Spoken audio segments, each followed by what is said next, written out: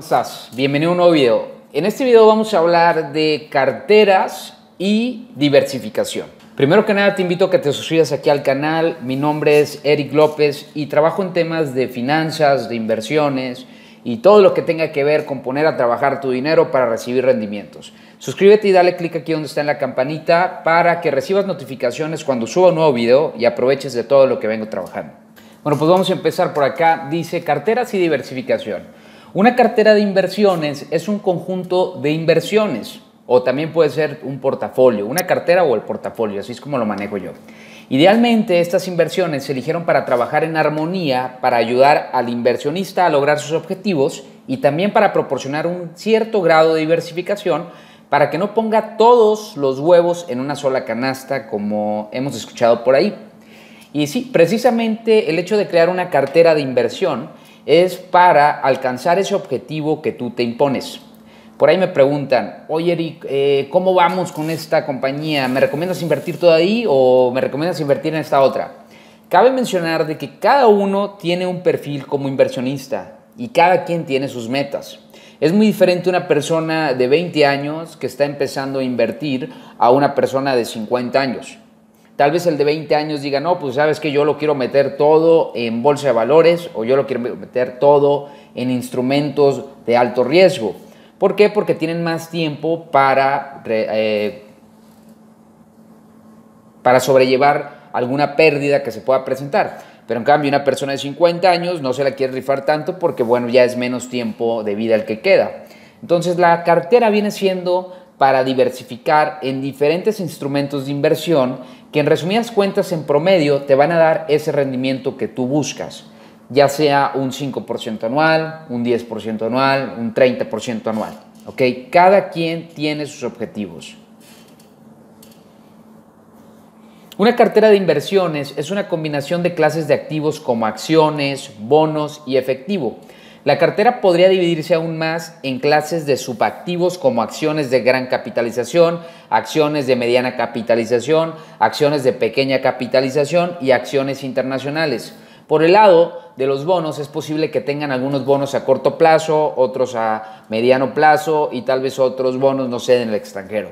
Y sí, es, precisamente estaba platicando con Pedro. Pedro, por cierto, te mando un saludo, espero que estés muy bien.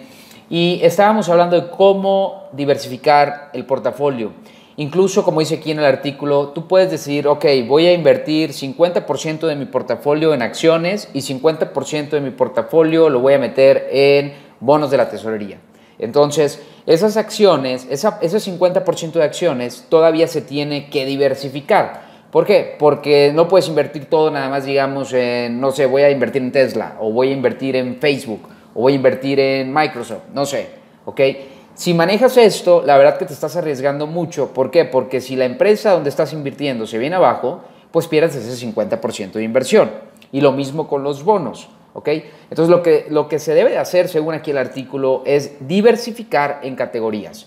Si tú vas a diversificar 50% de tu portafolio en acciones, bueno, dividir esas acciones tal vez en acciones de tecnología, algunas otras, no sé, minería o algunas otras acciones de servicios. ¿Ok? Tienes que diversificar en las industrias también. E incluso dentro de esa subcategoría podrías diversificar en las compañías de una subcategoría, ¿no? Prácticamente es diversificar todo lo que se pueda para reducir los riesgos. Ahora, por ejemplo, en los bonos, bueno, pues puedes decir, ok, voy a invertir en bonos municipales, o voy a invertir en los bonos de Estados Unidos, o quiero invertir tal vez en CETES aquí en México. En resumidas cuentas es eso, es diversificar también en la categoría de bonos.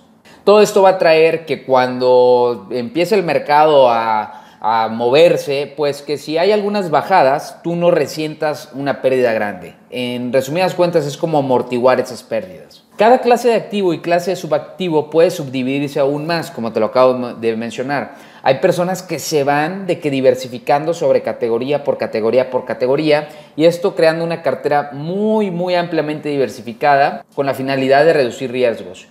Los vehículos de inversión utilizados pueden incluir fondos mutuos, ETFs, acciones y bonos individuales, al igual que otros puede ver todas sus participaciones de inversión en varios tipos de cuenta, como una cartera general o única. O puedes segmentar ciertas partes de sus tenencias como carteras separadas. ¿ok? También puedes desfragmentar de esta manera. Y nos da un ejemplo por acá. La cuenta de ahorro para el, su cuenta para ahorros universitarios podría ser una cartera y el dinero asignado para la jubilación podría ser otra cartera. ¿ok? Y aquí tú puedes eh, empezar a manejar tu ahorro a la manera que tú gustes. Idealmente una cartera consiste en una variedad de inversiones, no todas ellas están altamente correlacionadas entre sí. Como te decía hace un rato, a lo mejor te gusta invertir, no sé, en agricultura, o sea, en productos agrícolas, y también te gusta invertir en tecnología, o también te gusta invertir en bienes raíces, ¿sí? De esta forma, bueno, pues no está correlacionado nada, o tal vez sí puedes encontrar productos que estén correlacionados, ya es, eso pues va a quedar en ti, ¿no? Es importante mencionar los tres tipos de personas o las tres tipos de carteras que pueden existir. Existe el esquema conservador, por ejemplo aquí, el 40-60. 40% de nuestro portafolio, o sea, de nuestra cartera, invertirla en cosas de bajo riesgo y 60% en alto riesgo. ¿Por qué? Porque no queremos arriesgarnos, prefiero ser una persona conservadora, ganando poquito, pero a largo plazo quiero ganar más. Existe el esquema moderado, donde es un 50-50, un 60-40. Del parte de nuestro portafolio se va a cosas más arriesgadas, vamos a decir el 50% arriesgado y el 50% no arriesgado. Eso es moderado, ¿no? Hay algunos que le dicen, bueno, le voy a meter un 60% a acciones, le voy a meter un 40% a o a pagares bancarios. ¿Por qué? Porque quiero seguridad. Hay otro más agresivo, que esto yo podría decir que es una cartera de un chico de entre unos 18 y 30 años, que dice, a mí me vale madre, yo voy todo con el Bitcoin. Le aviento el 80% de mi portafolio, el 80% de mi cartera, se lo voy a dejar a proyectos de blockchain. Y resulta que si tienen 100 mil pesos, pues le avientan 80 mil acá y 20 mil tal vez a crowdfundings o tal vez a unos pagarés por ahí o algunos CETES. ¿ok? Este ya es un esquema más agresivo. No lo recomiendo si eres primerizo. Yo lo que recomendaría es empezar de una manera conservadora y después ir evolucionando tal vez a un moderado. Y ya si te gusta este mundo de la adrenalina y el estrés, pues órale, dale recio con el agresivo. Las carteras conservadoras siempre van a dar un menor rendimiento anual pero también va a existir muy poco riesgo, incluso si hay pérdidas van a ser muy pequeñas a comparación de carteras agresivas. Cabe mencionar que al utilizar una cartera conservadora, esta te va a dar rendimientos más pequeños que lo que te ofrecería una cartera con un esquema moderado. Pero también de la misma forma reduce el riesgo a que tú puedas perder dinero. En una cartera agresiva estás hablando que el rendimiento va a ser muy alto y algunos expertos dicen que una cartera agresiva viene siendo de activos que te están dando del 15% a un 20, 30% o más. Pero también es muy importante decir que si tú estás buscando encontrar estos rendimientos, el riesgo que estás corriendo de perder tu dinero es mucho más alto. Entonces, pues ya es cuestión de que tú decidas cómo quieres invertir tu lana y qué tanto te quieres arriesgar. Ahí te dejo estas opciones, te espero y te haya presentado una idea más amplia para que tú sepas qué hacer o qué no hacer con tu dinero.